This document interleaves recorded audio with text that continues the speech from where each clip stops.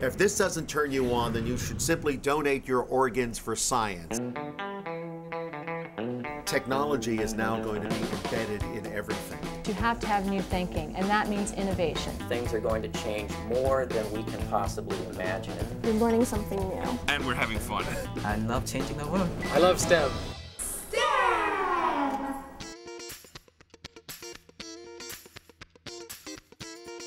I was not interested in science at all when I was a kid.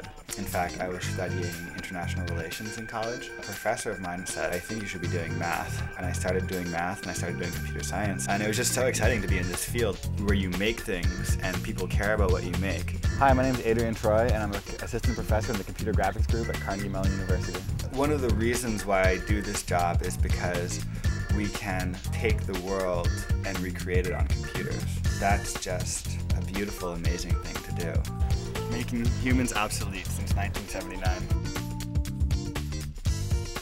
When I was eight years old, my mom bought me a computer. In order to play all the games, I had to learn how to program. Now what I do is make games for a living. Uh, hi, my name is Luis von Ahn, and I'm a professor of computer science here at Carnegie Mellon. I love my job. I can do whatever I want, and I have no boss. We are built on innovation. We believe it's one of the keys to our success. Hi, I'm Virginia Benton, the Director of Global Learning, and welcome to Tyco Electronics Technical Application Center. I love my job. Science, math, engineering, technology, that's what's going to drive the future.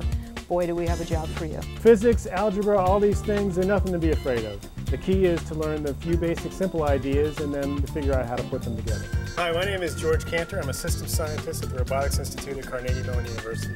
I get to create, I get to dream up things out of my own head and put them together and then actually see them do something in the world. I love my job. Scientist is someone who's engaged in thinking about the complexity of the universe. Hi, I'm uh, Jeff Flett, and welcome to Cephalon. My job is to use our science to find new medicines to treat human disease. I love my job. It's fun. I learn something new every day. My name's Valerie, and I'm an engineer. One of the important things you learn in a science career is about technology. Technology is all about asking questions and trying to seek those answers, all about being curious. In science, there is the real potential of discovering new things, and that is incredibly exciting. Hi, my name is Joel Stiles, and I love science. This is an incredibly interesting and exciting time in science. So many different things are coming together right now. For the first time, we're effectively bringing together physicists, chemists, with the biologists to understand the human at far greater levels of detail than have ever been possible before. You're learning things that, that no one has, has seen before or known before. Hi, my name's Jacob, and I'm a visualization specialist, and I love science. Yeah, I couldn't really ask for a better job.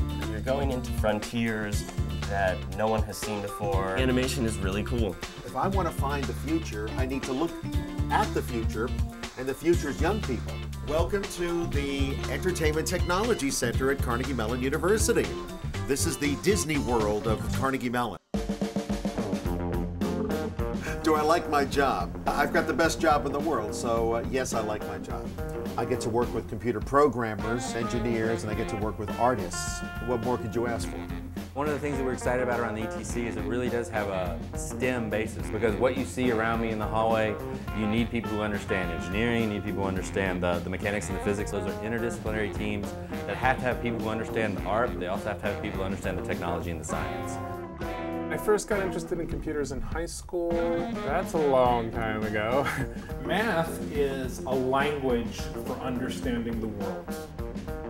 Science is important because you provide a service to the community. Hi, I'm Mark Wilson, a supervisor in analytical science, and welcome to the lab. What's cool about what I do is I find out the unknown. I'm the last defense. I'm the one that protects the consumer. As a senior scientist, I perform uh, many experiments in the lab. My name is Alpha and I love science. Every day you walk in and you face a challenge, but that challenge is very stimulating to use new ideas. As a scientist, I work on nanotechnology, nanobiotechnology. Hi, I'm Chad. I'm president of the Philadelphia Biotechnology and Life Sciences Institute, and I love science. A scientist is someone who has a natural curiosity about his or her world. Somewhere in the high school classroom right now, there's a student who's going to change the world with an idea. Hi, I'm Joanne Mathiasen. I'm a senior scientist, and I work at Cephalon. Um, I see a lot more women in the sciences now. There are so many different, diverse people, and there's one language that we all speak, and that's science. I love my job. It's not just about equations on the board, it's really about the world. You're out there on the internet, downloading millions of images from Flickr, studying social networks, helping people organize with one another. It's about people. When I realized it, it was like this secret, like, wow, this is really what it's all about. That's so cool. Whenever you're buying tickets on Ticketmaster or getting a Facebook account, uh, you have to type these squiggly characters that are sometimes hard to read. I invented those. It's called CAPTCHA. When we give you one of these squiggly characters, what you may not know is that you're also helping us digitize books. These words that you see right here actually come from a book. You know, we're getting tens of millions of words every day digitized by just having people type these words. That in and of itself is amazing. But now take that one person and scale the whole thing up to 90,000 people. And now it's not just really, really cool. It's like we're changing the world. In my research, we're trying to actually get people to not only do something good for humanity, but to do it together in a cooperative sense. The way to get people to cooperate on a massive scale is to make it a game. I mean, every day I touch 200 million people. In some sense, everybody wins. STEM, science, engineering, technology, and math. Technology is really driving a lot of the innovation that you see in all these entertainment fields. But whether it's video games or animation or theme park rides, those experiences need to have people who have a STEM background. Because of that, the field of computer science has changed very dramatically. You science engineering can be whatever you want it to be. You can get outside and do all kinds of exciting things and go places you never dreamed of. We need all types of people working together. If you're somebody who can do art, if you're somebody who can understand the business plan, if you're somebody who understands how to write really well, a lot of creativity is required to basically invent the future. You really do need to have the, the combination of skills. You need to do it all. I love engineering because it combines math, science, and technology. Hi, I'm Eileen Garrison, and I'm a traffic engineer. We make a difference in the quality of life every day. STEM rocks. There's such a breadth of opportunity for you. You can be a college professor, you can be a researcher in medicine, in physics, nanotechnology, medical writing. You can be a web designer, you can be a teacher, you can go and make movies for Pixar. Chemical engineers, quality engineers, computer engineering. You could be a computer scientist, a visualization expert. It's unlimited. This is unheard of outside of fields of technology. We need to have very good science talent to continue our mission going forward. We need men, we need women, we need people from different parts of the world.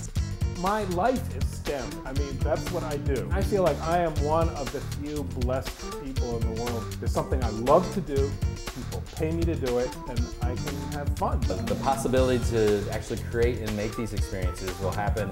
if You're able to start studying uh, math and technology, your arts and your sciences. Learn the chemistry when you have the chance, learn the physics when you have the chance. Find out what ignites your passion. And then work will be put.